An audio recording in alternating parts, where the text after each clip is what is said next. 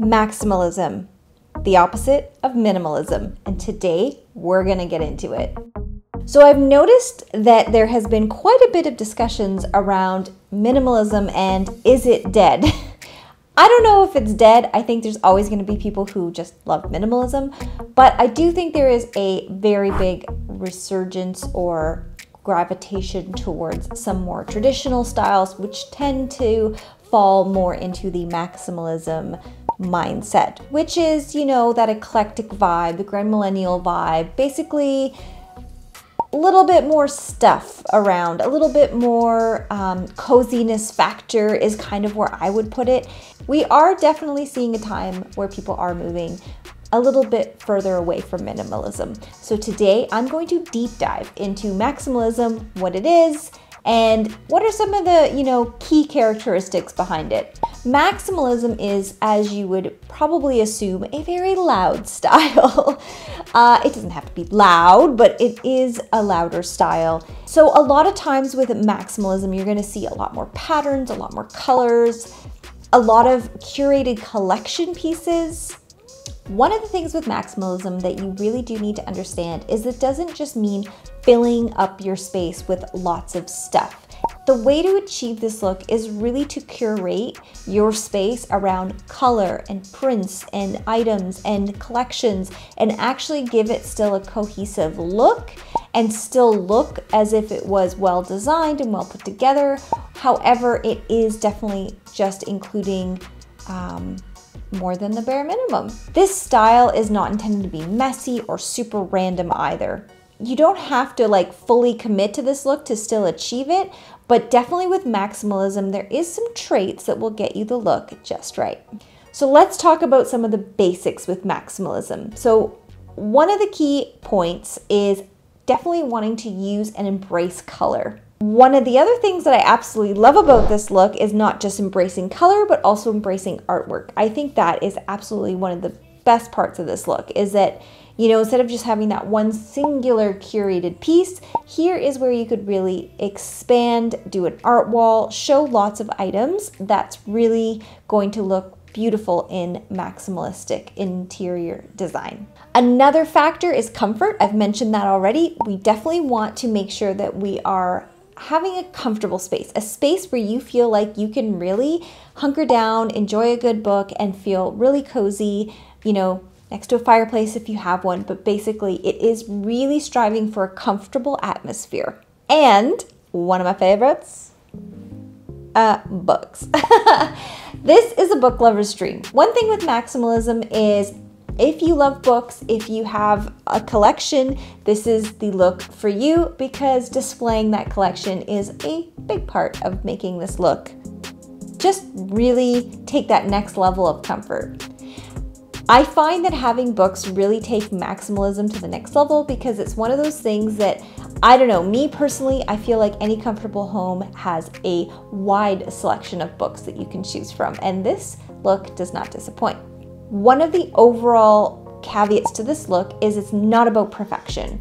It's definitely about personalization and making it a space that tells your story.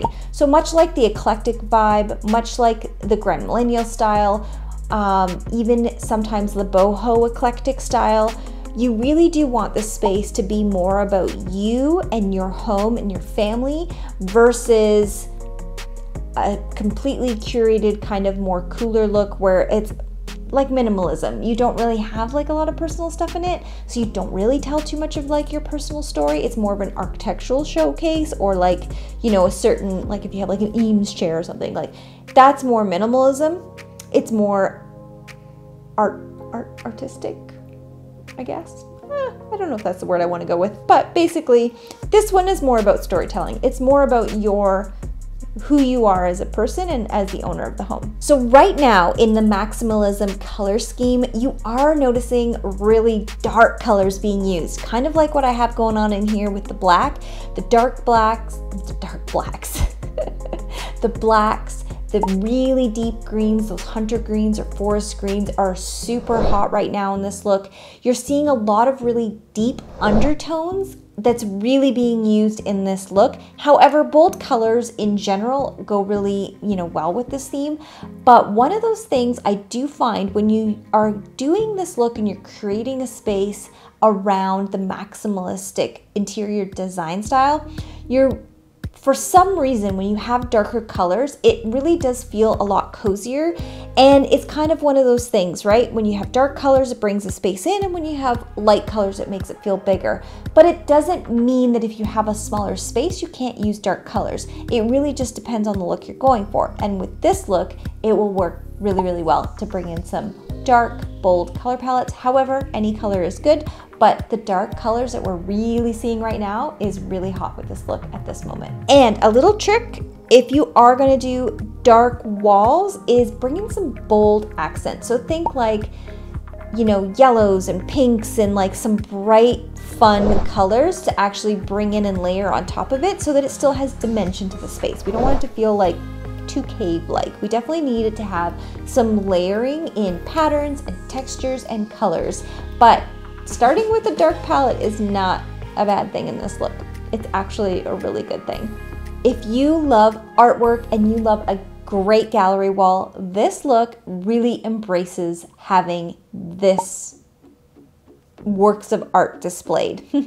what I love about this look is you can actually fill every square inch of, let's say, an accent wall with different scale and size artwork done in the right way, which I'll get to and it will work with this look. You can really fill up a wall and be bold with a gallery wall. Now, here's a little trick.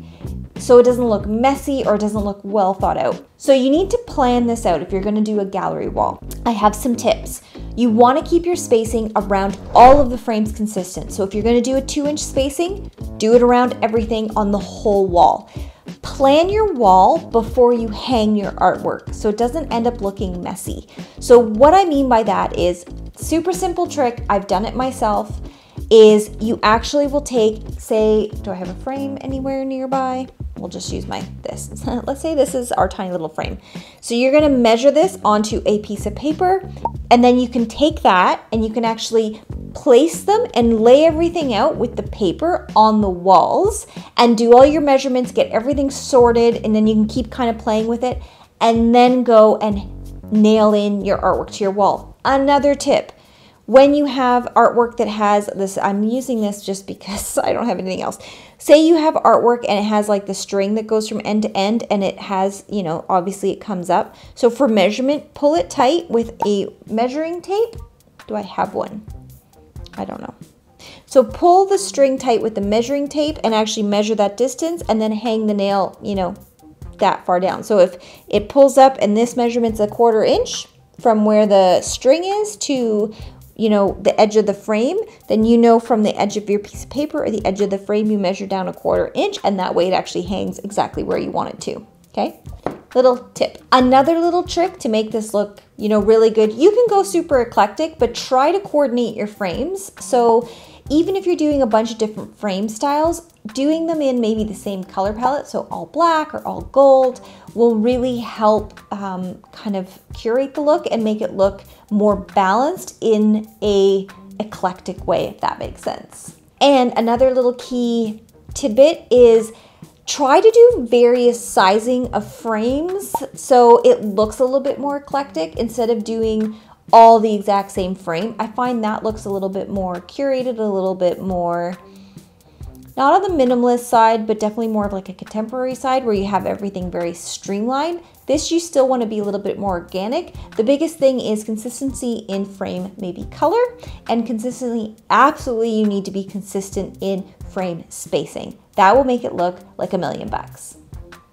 And then fill it with artwork that you love treasures, stories, travels, photos, friends, loved ones, all of those things. When decorating with maximalism, we really want to think about infusing it with things that we love. However, with that, we don't want it to look too random. So one of the little tricks is to bring some of those themes throughout the space. So let's say you love the accent color, you know, like a canary yellow, and you want to bring that throughout your space into little touches so that it all ties together. And that's really how you take a maximalistic look that can go from just really eclectic and a little bit all over the place to a little bit more refined, but still with the right vibe. So, one of the things I love about maximalism, and I've already mentioned it, is comfort. With minimalism, we really downsized, I would say, that kind of really cozy comfort vibe. It's very minimalistic. That's why it's minimalism. And then we really heard, I think, if you recall, if you're into the interior design trends, which I mean, if you're watching that, you probably are. Um, and it was called Hygge Hygge. Hygge Hygge. Something. I'm gonna, I'm just, I'm gonna put the word here. There was a whole movement around this, and it's all about nesting style and comfort, and it's a Swedish thing. But it wasn't very stylized. It was almost more quiet, still very neutral, but very cozy. And what maximalism does is it brings in a lot of the glamour and you can bring in a lot of the color and you can bring in a lot of the fun and playfulness with that hygge, hygge, hoogie, I don't know how it's said. Ooh, that sounded gross. I don't know how it's said. But you combine like that nesting comfortness that we had seen really talked about a couple years ago. And then with maximalism, we're bringing in a little bit more of the design elements, the color, the uh, patterns, the creation of the space. So comfortable decor with, you know, colors, accessories, all that fun vibe stuff.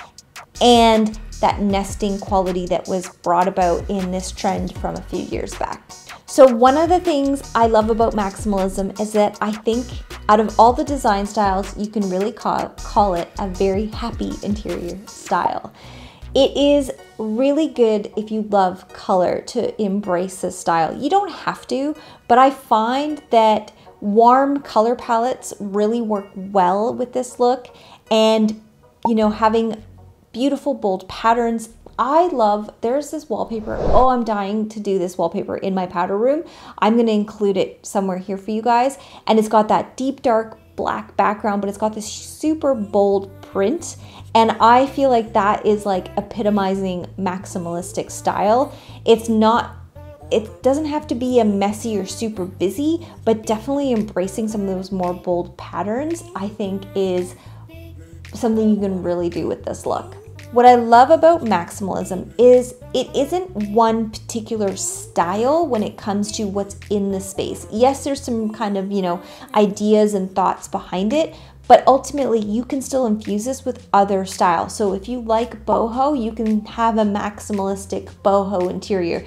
If you like that English country look, you can have that with the maximalistic style. So you can combine the idea of maximalism with other design styles. that makes sense. I hope that makes sense. One of the things I absolutely adore about maximalism is bringing in vintage items. So whether it's inherited pieces or pieces that you've thrifted or gone to a antique store, it bodes very well in a maximalistic home. What I love is that, say you're drawn towards that mid century modern, which is more on the minimalist side, but you like the furniture pieces, they work so well in this look. Honestly, you can tie them really, really well into a maximalist style. Other looks that work really well with maximalism, like from a furniture standpoint and from an accent standpoint and from a vintage standpoint, Art Deco. That's been a really popular theme lately. Art Deco and maximalism go wonderfully together. And the type of furniture, especially if you have vintage pieces from Art Deco era, oh my goodness, it will really, really work well in this look, especially with their color palettes because they really liked a lot of these emerald tones and the golds and the silvers, and that will just look super glam with this look. I think it's a really great um, tie-in with each other. So if you have some of those vintage pieces, this look is great because you can really embrace them. And again, it's your story. So if it's something that you've inherited down the line, even better. If not, if you found it at like Southworks Antiques in Cambridge, Ontario, which is a store I love, that's cool too. I think the key takeaway about maximalism is that you don't have to be perfect. It is a very comfortable design style. It doesn't have to have any particular theme to it. It be- it does work best when it's somewhat imperfect because we're not perfect. So I love maximalism because I feel like it's a really authentic expression and it's an authentic expression of your own style, of your own taste and of your own experiences. And that to me is why I absolutely love maximalism and why I would say I am a maximalist. But if you haven't checked it out yet, I did talk about minimalism versus maximalism and how I definitely have a lot of minimalistic mindsets when it comes to you know buying stuff and all that. I like thrifting and vintage and trying to keep things a little bit more on the sustainability side. However that being said if you haven't checked out that video definitely check that one out. If you're not sure which one you are that one might explain that you can have a minimalist mindset while still being a maximalist which is where i identify. At the end of the day i just think maximalism is awesome it's comfortable and I think it's available to anybody who really just wants to embrace kind of like an eclectic vibe, which I kind of feel like maximalism is just the new word for eclectic. All right, guys, until next time, bye.